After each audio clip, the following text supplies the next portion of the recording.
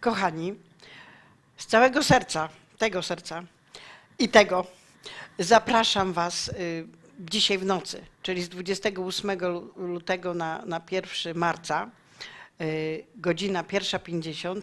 Jesteście na TVN7 i potem TVN do nas dołącza.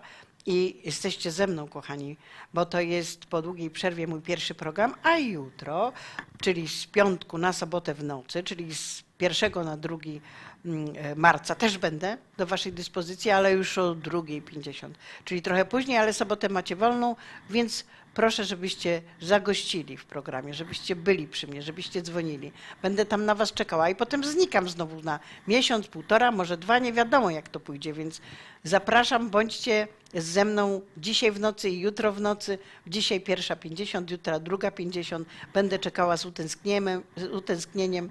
Naprawimy Wasz ród, obiecuję, podpowiem jak żyć. Wiecie, że jestem mama czy ciocia, dobra rada, nie wiem jak to powiedzieć. Ściskam, całuję i czekam na Was.